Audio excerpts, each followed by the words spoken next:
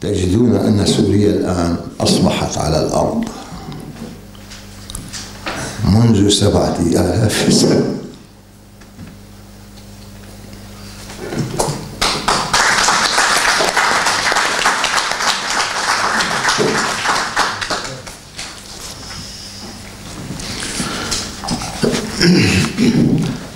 نعم.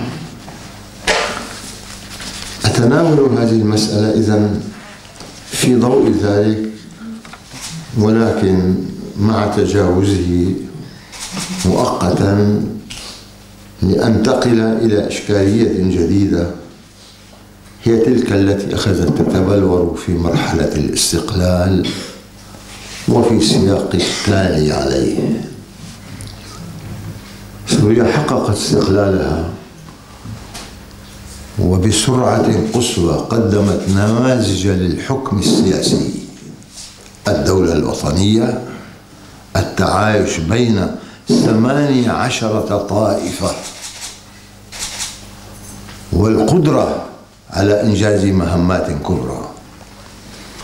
أذكر فقط مثالا واحدا عن فارس الخوري. هذا الرجل المسيحي الذي يكاد يكون فريدا. فارس الخوري كان رئيس البرلمان السوري وبعد الاستقلال تلقى دعوة من الجنرال غورو يقول فيها أيها الرئيس كل المسيحيين الفرنسيين يقدمون لكم الخدمة والاعتبار والمحبة. فنحن نتمنى أن تعتبرونا إخوتكم. وهم هؤلاء القتلة الذين كانوا في سوريا.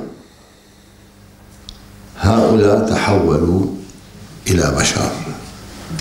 لكن هذا الرجل المعجزة أجاب غورو من على سدة البرلمان.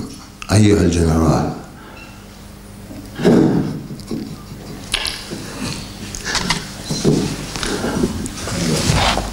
إنني أحتمي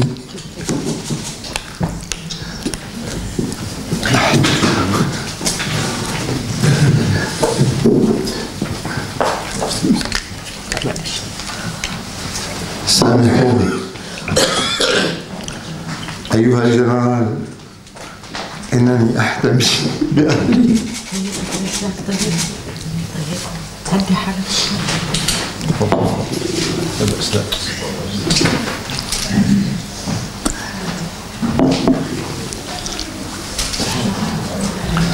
إنني أحتمي بأهلي مسلمين ومسيحيين وإيزيديين وكل الطوائف التي تعد ثمانية عشرة طائفة.